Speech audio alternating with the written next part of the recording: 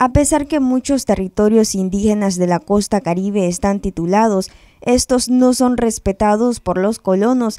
Es por ello que los comunitarios buscan alternativas para incidir y que las autoridades les brinden respuesta, dijo el líder Yatama Brooklyn Rivera. En caso de, de los territorios indígenas siempre se jacta que han titulado 23 territorios, pero desde el punto de vista de las comunidades que eso territorio está titulado, pero los documentos no funcionan.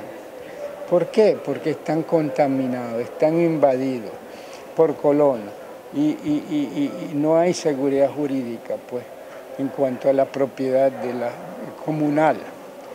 Em, entonces, ha, ha estado haciendo acciones propias las comunidades, tratando de organizarse, articularse aunar esfuerzos entre los territorios para tratar de incidir de alguna forma en recibir alguna respuesta del gobierno. Como están contra la pared, tiene que ver cómo hacen para defenderse por sí solos. Rivera afirma que no hay una ley que proteja a los indígenas. Cada día invaden, invaden cientos, miles de terceros, los colonos.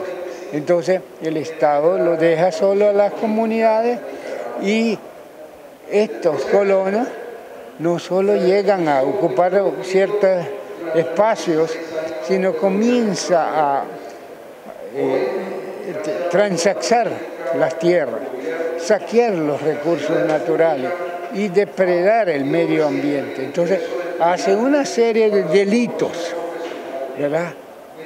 Y no hay ley que actúe en, defensa de los, de los indígenas. Noticias 12, Darlene Telles.